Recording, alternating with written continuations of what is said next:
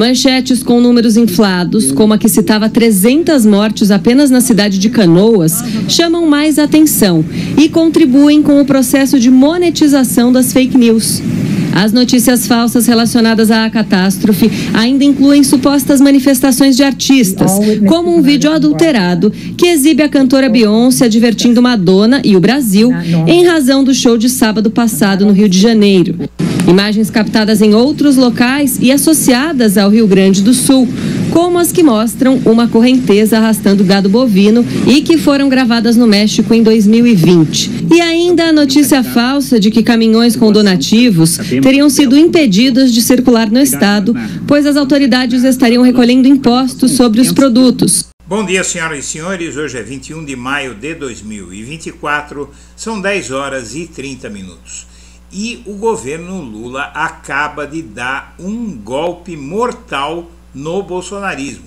Tirou a arma principal de política rasteira da extrema-direita contra o governo federal, mas muito mais contra a população que está sofrendo no Rio Grande do Sul com a tragédia das enchentes e o bolsonarismo estava usando essa tragédia para lucrar politicamente para tentar impedir o crescimento da aprovação ao Lula, que vinha se processando nas últimas semanas, segundo a pesquisa Quest, que revelou nesta semana que a aprovação ao Lula no, Rio, no sul do país cresceu 11 pontos percentuais. Então, o bolsonarismo saiu espalhando mentira furiosamente e agora com o objetivo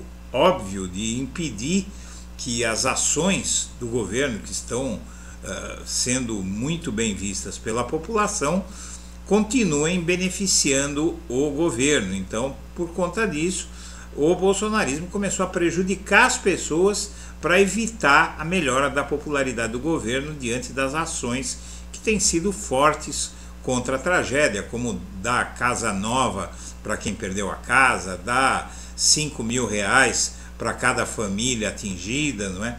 Tudo isso está aumentando a popularidade do governo e agora o governo conseguiu tirar a principal arma dessa gente, que é o uso das plataformas, das redes sociais para espalhar mentiras. O governo Lula conseguiu firmar um acordo com essas plataformas contra fake news sobre a tragédia no Rio Grande do Sul. E essa, esse acordo envolve todas as redes, inclusive o Twitter. O acordo foi firmado pelo Jorge Messias e por que é o advogado-geral da União e por representantes do Google, do YouTube, da Meta que controla Facebook e Instagram, TikTok, X do Elon Musk, Quai e LinkedIn. Essas redes vão proibir e não vão divulgar mentiras claramente reconhecíveis, não é? Que têm sido espalhadas. O texto prevê promoção de informação íntegra, confiável e de qualidade sobre a situação no estado de acordo com os termos de uso das próprias plataformas. Além disso, as empresas terão que colaborar conforme suas capacidades técnicas e institucionais para tomar medidas em relação a conteúdos que violem a integridade das informações sobre a tragédia climática.